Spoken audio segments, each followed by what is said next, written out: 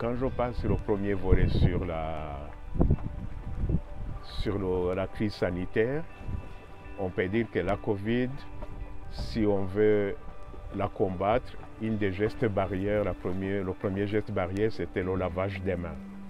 On ne peut pas se laver les mains si on n'a pas de l'eau. Donc ça, c'est une des caractéristiques de besoin de l'eau. Le deuxième point, donc si on part sur le conflit, comme vous le savez, il y a beaucoup de conflits aussi qui touchent, qui sont liés à l'eau au niveau du Sahel. Comme vous le savez, il y a les éleveurs contre les agriculteurs dans le partage, les uns pour le cheptel, les autres pour pouvoir défendre leur culture. Ces deux points aussi, ça montre l'importance de l'eau dans cette crise. Pour ce qui est du changement climatique, on voit aussi également la, ce qui arrive, par exemple, dans la région où on est ici en Casamance, où l'eau de la mer commence à prendre aussi une partie des terres cultivables. Et c'est là où le CICR aussi intervient, comme on le fait ici avec le CICR, conjointement avec la Croix-Rouge sénégalaise, en construisant des digues anti-serre, ce qui permet de récupérer une partie des terres et faire la riziculture et renforcer ainsi la résilience pour les populations affectées par le conflit.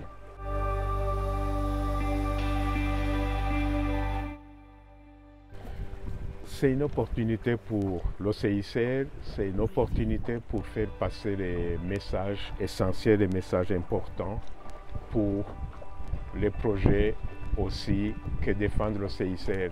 C'est une occasion de donner de, de la voix aux causes des sans-voix, qui sont les populations affectées par le conflit, les populations déplacées, les populations qui sont au centre de notre action.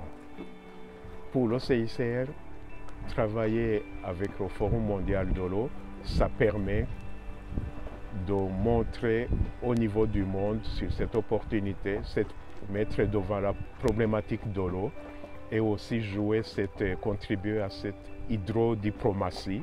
Et d'ailleurs, le titre de, la, de ce forum de l'eau, l'eau pour la sécurité de l'eau, pour la paix et le développement, résume bien cette cause.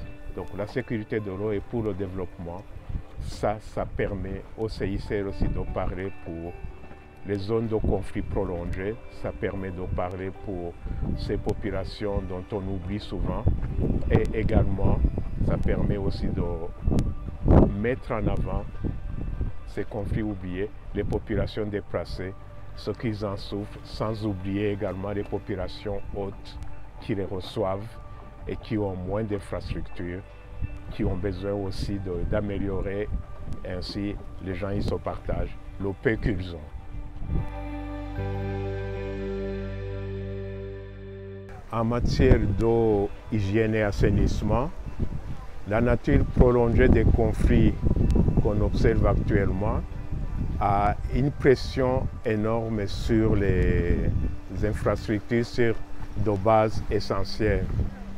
Et ça, cet impact touche les humanitaires ainsi que les acteurs de développement. Je pense qu'une des attentes, ça serait que un partenariat solide entre les acteurs humanitaires et les acteurs de développement permettrait de mieux donner une réponse humanitaire d'une façon plus durable.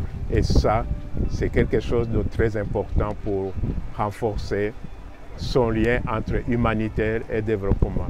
Du côté des acteurs humanitaires, ceci permet aussi d'arriver à une réponse des objectifs de développement durable tout en donnant une réponse immédiate aux populations les plus affectées, à savoir les populations touchées par le conflit, où on observe également les déplacements des populations.